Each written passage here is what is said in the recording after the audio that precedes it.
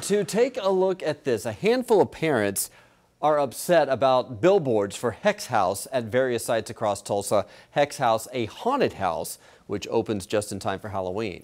Before going to breaking news, our reporter Katie Wisely talked to those outraged parents and the billboard owner in a story you'll see only on 2.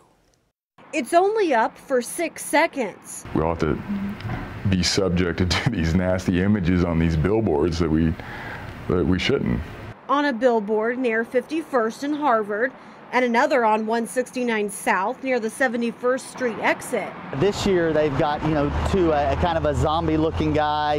Uh, there's also one of a half burned man.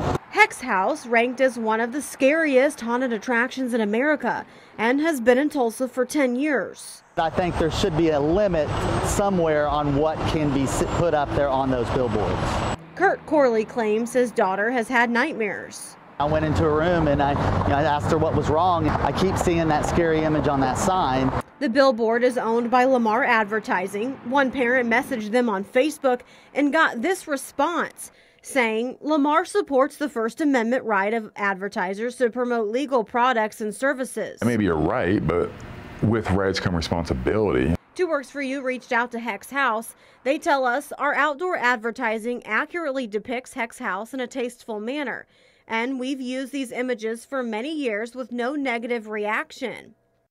That's not decent. It's inappropriate. A concerned parent even claiming in a letter to the advertisement agency they're willing to fight. Now these parents hoping to turn the six seconds into zero.